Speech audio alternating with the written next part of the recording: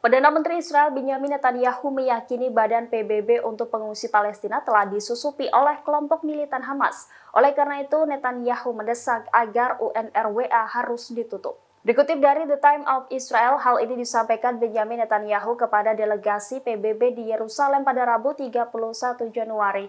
Perdana Menteri Israel mengatakan bahwa lembaga kemanusiaan sangat dibutuhkan di tengah pertempuran berbulan-bulan di Gaza, namun menurut Netanyahu, UNRWA sudah tidak bisa mengambil peran di Gaza. Lebih lanjut, Netanyahu meminta UNRWA diganti oleh lembaga bantuan lain. Israel menuding oknum staf PBB itu terlibat dalam serangan Hamas pada 7 Oktober 2023. Disebut ada 12 karyawan UNRWA yang membantu Hamas. Imbas tudingan tersebut, beberapa negara pendonor terbesar menangguhkan pendanaan kepada UNRWA.